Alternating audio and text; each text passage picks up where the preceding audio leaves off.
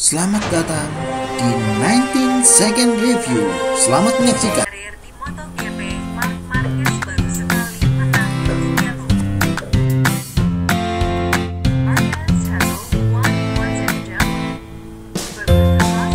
Hari ini kita akan memberikan tutorial tentang text to voice, voice to text. Ada dua yang akan kita langsung di dalam satu session hari ini.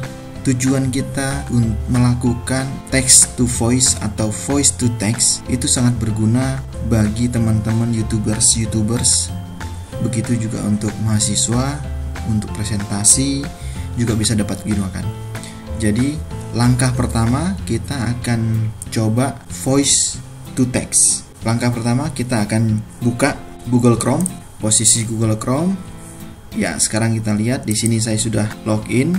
Kalau belum login di login dulu Google Chrome-nya. Kemudian di sini ada kotak-kotak bintik-bintik kecil. Kita klik saja disebut Google Apps. Kita lihat di Google Apps di sini ada Translate. Kita klik saja. Alat inilah yang akan kita pergunakan untuk merubah voice to text atau text to voice. Kita buka. Ya di sini saya akan jelaskan bagian-bagian dari Google Translate ini di atas bar atas ini untuk yang sebelah kiri adalah untuk translate asalnya. Yang sebelah kanan ini bahasa yang akan kita translate. Tapi kita pakai ini untuk kegunaan yang lebih yaitu untuk merubah voice to text. Jadi kalau kita di sini ada bentuk seperti mic jadi di sini kita kalau kita klik bentuknya merah otomatis dia akan mulai mendeteksi suara kita dan diketik langsung oleh Google Translate ini. Nah, bahasa kita bisa pakai bahasa Inggris atau bahasa Latin atau bahasa apa saja. Kita bisa klik di sini bisa pilih bahasa. Kebetulan kita menggunakan bahasa Indonesia otomatis kita akan pakai bahasa Indonesia jadi langkah selanjutnya adalah turn on voice input. Artinya kita bicara kemudian dia akan langsung mengetik apa yang kita bicarakan. Kita akan mulai.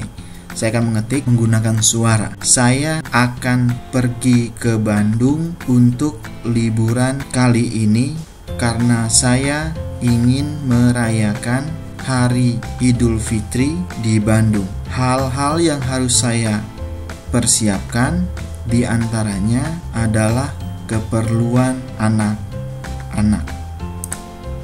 Ya, setelah kita selesai, kita bisa klik bentuknya berubah jadi hitam kembali. Waktu merecord dia bentuknya merah. Coba kita dengarkan lagi. Kita bisa langsung klik dengarkan apa yang tadi saya ucapkan apakah benar atau tidak. Dia langsung mengetik. Jadi ketikan hasil ketikan ini berguna untuk teman-teman bila malas melakukan pengetikan tapi hanya mau membaca biar selanjutnya Google Translate yang bekerja.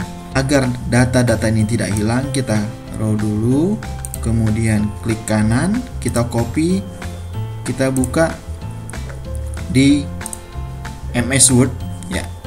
Kemudian kita paste di sini untuk menjaga jangan sampai kita close sebelum itu kita save dulu.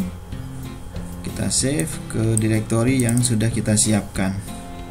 Diharapkan directory itu harus kita ingat biar kita ya kemudian nama filenya kita teks liburan ke Bandung. Kita save setelah kita save kita close saja. Itu satu petunjuk pertama yang telah kita lewati. Kalau kita mau dengar juga apa pun yang kita sebutkan bisa kita dengar dalam bentuk bahasa Inggris. Kita coba dengar bahasa Inggrisnya.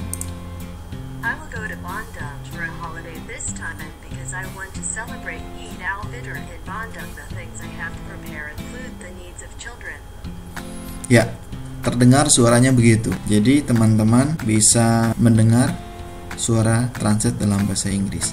Yang kedua, tutorial kedua adalah kita ingin mendengar dari teks. Jadi, langkahnya adalah saya sudah buka satu artikel di website, kemudian saya coba close saja yang ini, kemudian artikel ini kita blok, klik kanan, kemudian kita copy, kemudian kita paste ke sini Nah, di sini sudah.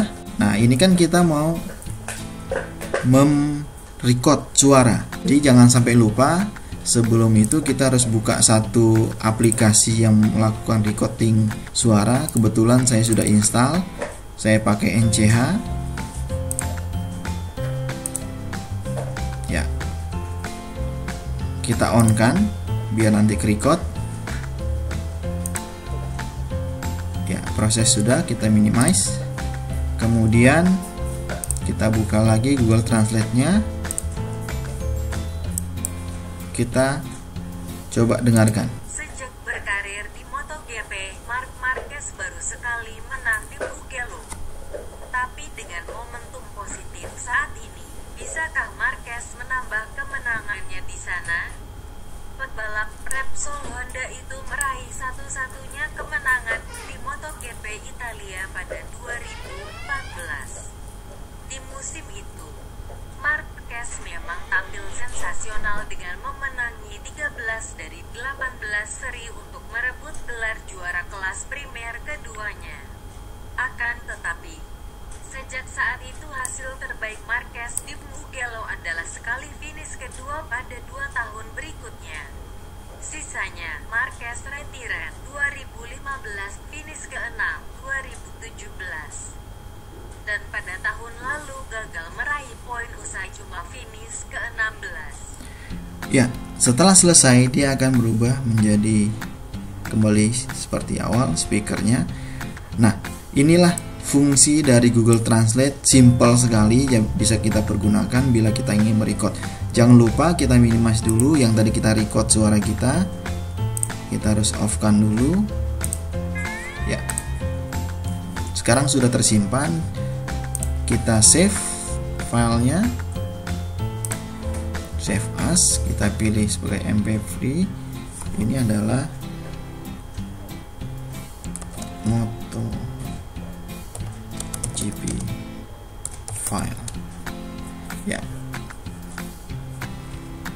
kita masukkan ke direktori yang sama. Ya. Kita save. Oke kan saja langsung. Kemudian ini kita close. Prosesnya sudah selesai jadi begitu simpel kita dapat mempergunakan voice to text text to voice menggunakan Google Translate. Hasil dari voice-nya itu kalau kita lihat kita juga bisa mendengarkan dalam bahasa Inggris. Kita coba. Ini juga bisa diterjemahkan ke bahasa Latin bahasa macam-macam. Jadi kita klik di sini bisa kita pilih mungkin hampir seluruh dunia punya bahasa sudah ada disiapkan oleh Google. Coba kita dengar translate bahasa Inggrisnya.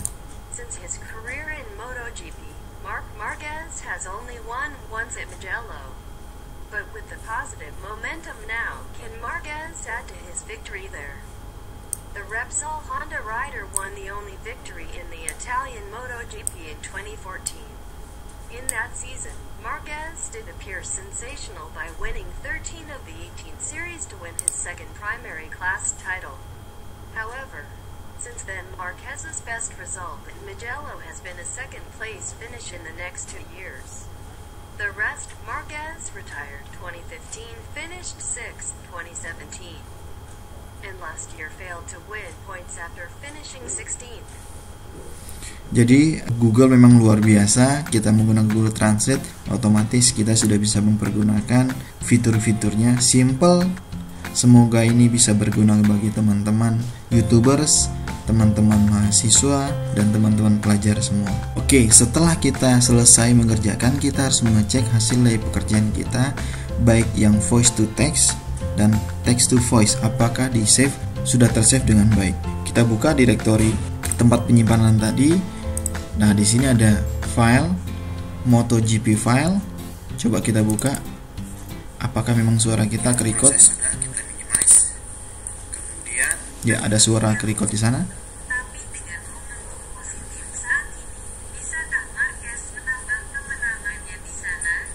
Ya, jadi ada. Jadi ada tadi suara di depan itu, suara di depan itu yang harus kita edit lagi pada saat nanti kita melakukan presentasi. Nah, kemudian kita buka yang tadi voice to text. Nah, di sini sudah ada yang saya sebutkan tadi text. Nah, ini memang belum sempurna, memang kita harus tanda tambahkan tanda baca seperti koma, titik dan lain-lain. Jadi sekian teman-teman, mudah-mudahan ini bisa berguna bagi teman-teman. Terima kasih. Oke teman-teman, sampai jumpa lagi di 90 SR. Jangan lupa subscribe. Asik musiknya. Di share. Kemudian yang satu yang penting juga di like. Cayo, sampai jumpa lagi.